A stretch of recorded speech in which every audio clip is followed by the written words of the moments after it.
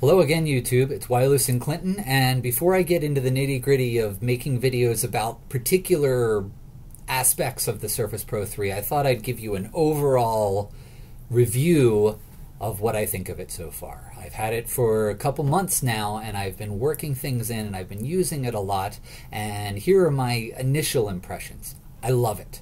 Um, the form factor doesn't bother me at all. I read some reviews that, oh, it's bigger than a tablet and it's hard to hold. And although it's true that it's bigger than a tablet, I think it hits the sweet spot in between laptop and, um, and tablet pretty well. Larger laptops have better real estate.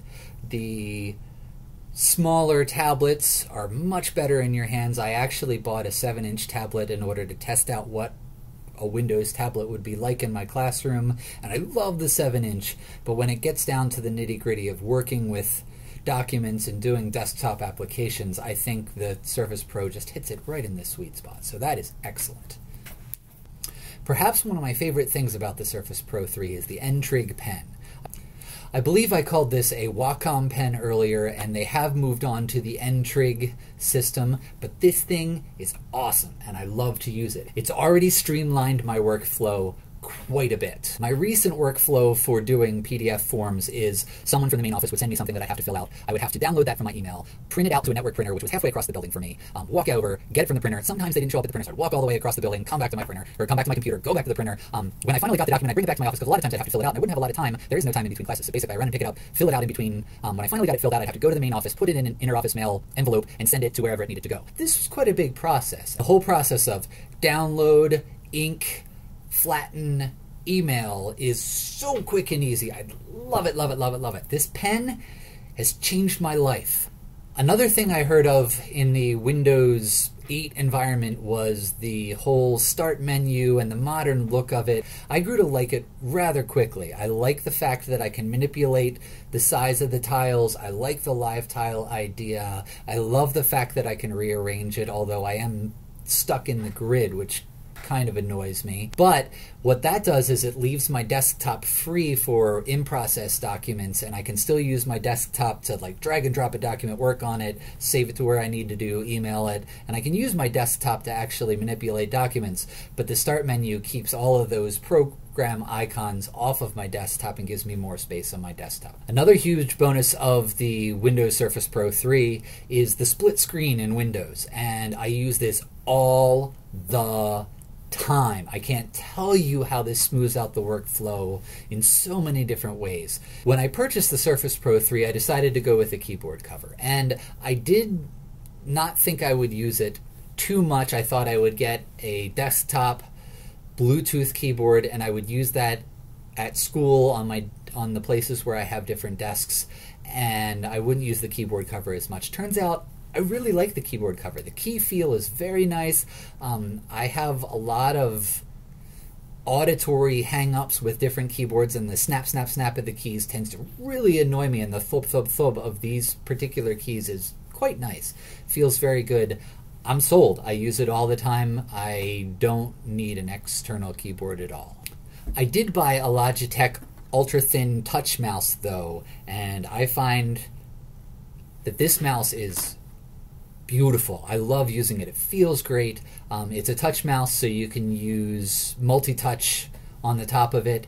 It's very small, it fits in my bag, and it feels great under my hand. I imagine if you were someone who had your hand on a mouse all day long, that it's too small and it doesn't support your hand, and that would be a problem for you, but for me, I love it. There's just certain things I want to use a mouse for. The touchpad on the keyboard on or on the keyboard cover is really excellent, but I just love to use the Logitech mouse. It's a thumbs up, goodbye on my part.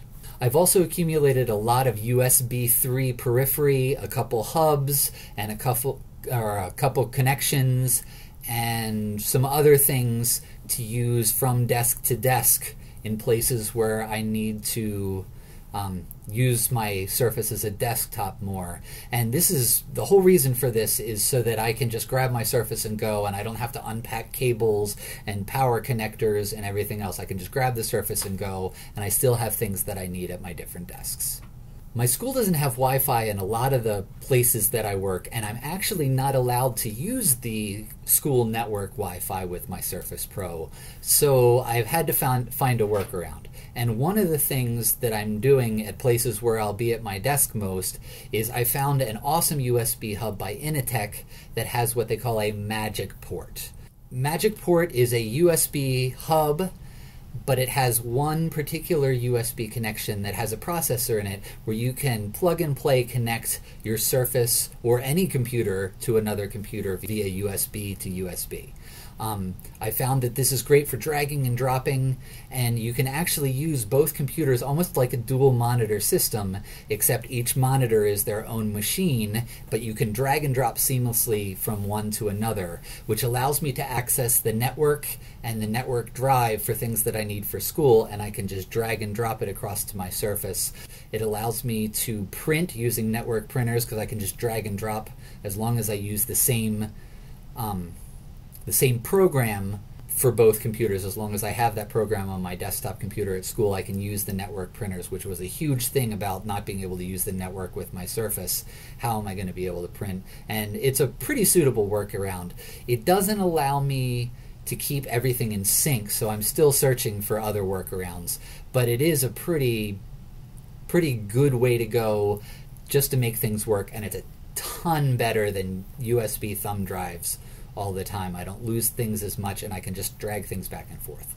There are a few issues with this workaround, most glaringly that I have to go and buy more hardware out of pocket.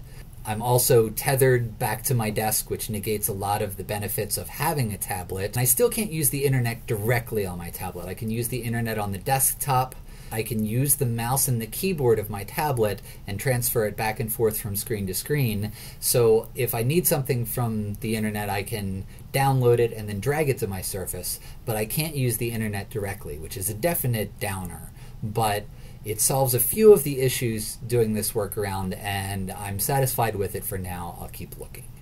I have lots of plans for this machine and the ways that I'm going to use it, and I'm sure by the end of the summer I'll have come up with lots of extra ones. One of the coolest is a device called a Miracast receiver. I bought with the grant two Actiontec, Action Tech Screenbeam Miracast receivers, and what they do is I can actually mirror my screen wirelessly, kind of like Bluetooth, but for video from my Surface to the receiver, and then I can send that in the two rooms that I teach in that have projectors to the projector and to the sound system.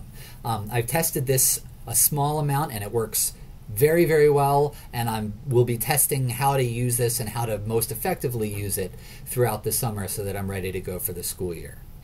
I did for this Miracast receiver end up buying some more things out of pocket in order to make things more seamless for the other teachers that have to use the room. In some of my rooms, I share with as many as four people throughout the day, so I can't reconfigure everything to my purposes and then just leave it and have them scramble. So I need to be able to grab my Surface and go and still have them be able to use what's there in whatever way they can without having to reconfigure things and plug things in and out. So I did buy an HDMI to VGA converter for each of the rooms that have projectors. I have two rooms that have projectors because the Actiontec is only HDMI out.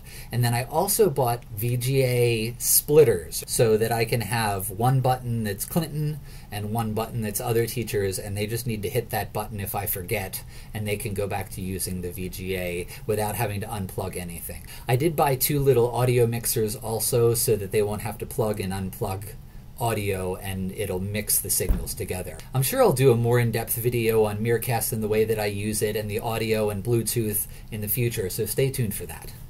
Overall, I love this work-inducing machine. And while it's not perfect, I would strongly recommend it. I can do so much more schoolwork and so much more work more easily with it than I could with my iPad. At home in my recliner at night, when I'm surfing the web, I use my iPad. But for work, it's the Surface Pro 3, and I'm loving it so far.